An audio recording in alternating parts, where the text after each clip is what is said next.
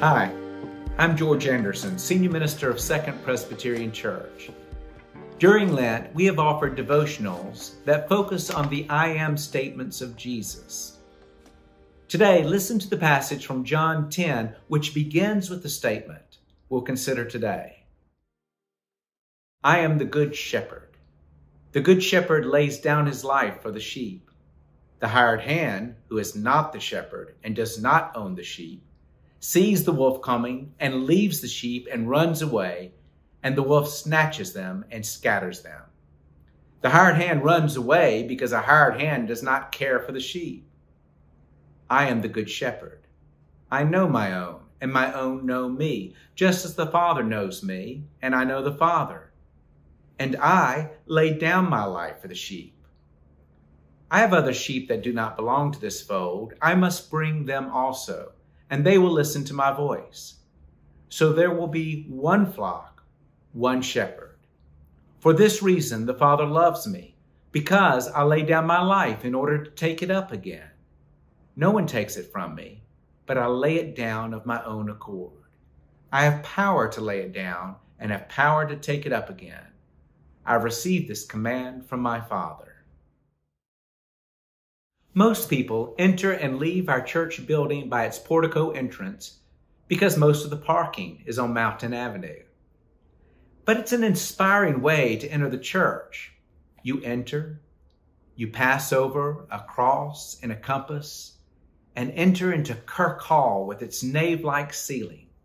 At the end of Kirk Hall hangs a large, simple, beautiful cross. Coming into Kirk Hall, it is a welcome with a message. To be part of this church is about finding direction by following Jesus. Not many people are still in the church who remember the days when the Mountain Avenue parking did not exist. Instead, there were large homes, a few of them with turntables in their garages, so that a car that pulled in could be rotated and drive straight out. At that time, the entrance that was most often used to enter the church for Sunday worship was at the corner of 3rd and Highland Avenue, our tower entrance. Now, coming in that door was far less dramatic. You entered a little room underneath the bell tower where you would receive a bulletin and immediately enter the sanctuary. However small as it is, it was not a room without inspiration. The space is adorned by two stained glass windows. If you took a moment, you would see two scenes depicted in those windows that would prepare you for worship. One is of Jesus holding a lantern, symbolizing the I am statement I talked about two weeks ago.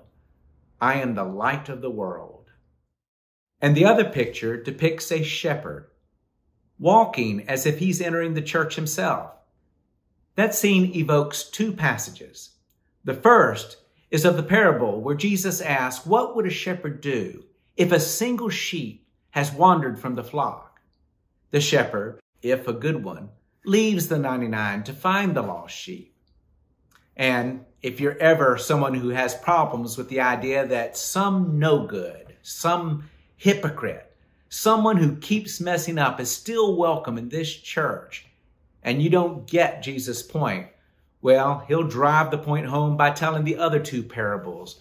One of the woman who searches diligently for the lost coin, and the other of the father searching the horizon, looking for the prodigal to return home. You'll notice that the shepherd who is betrayed in the window is not just any shepherd, but Jesus or at least the Jesus who has been portrayed in churches influenced by Western European art. And that it is Jesus who is betrayed brings us to the other passage that this window evokes. It is the one that I read from the 10th chapter of John.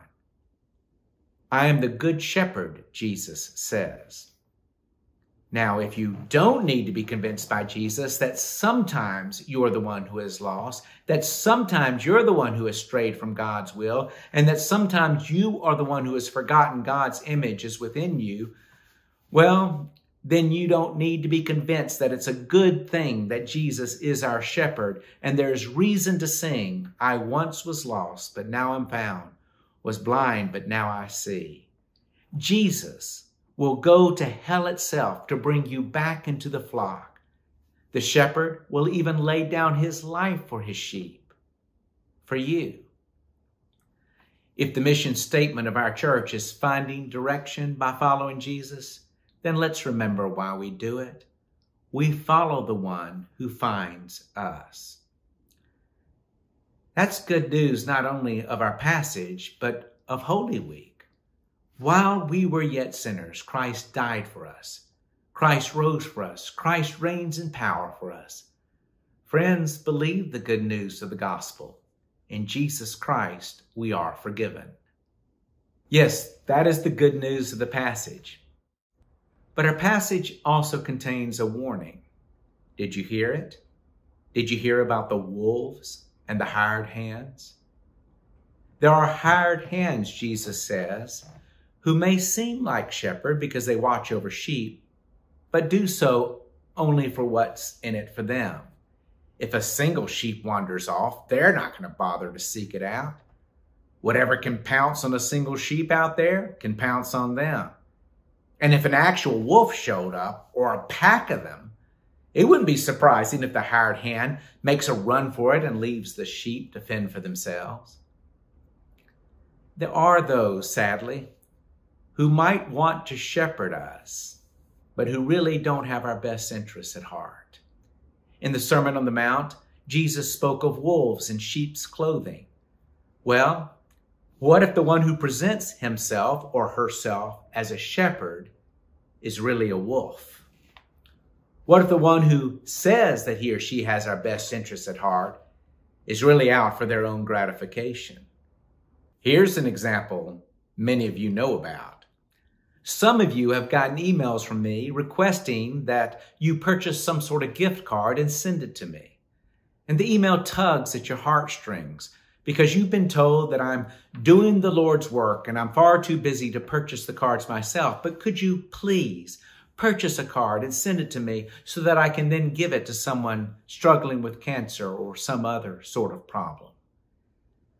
When you get those emails, I need you to know my voice so that you know that it's not me speaking to you, it's someone presenting themselves as your pastor. I want you to know me. And I want you to know this about me. I would never solicit you to send me money or gifts. This is just one example of how people will pass themselves off as someone you can trust, but whose aim really is to abuse that trust for their own ends. We believe that the God of justice and love and compassion speaks to us through the voice of Jesus. So to recognize Jesus' voice is to recognize that everything he says and does is in keeping with the character of the God who hears the cries of those in need, who calls for justice in our community life, who shows forgiveness, who speaks the truth that we need to hear, not just the truth that we want to hear, and who loves us and loves our world selflessly. Beware the wolves among us Beware of those who would shepherd or lead us, but not for our good or the greater good. And especially beware of anyone who speaks in Jesus' name, but whose message veers from the words of Jesus or the example he set. That one has a voice not to be trusted. But do listen for the voice of justice, of mercy, of reconciliation, and unconditional love. When you hear that voice, I hope you recognize it as the voice of the Good Shepherd who knows your name and calls you to follow in order to bring you safely home.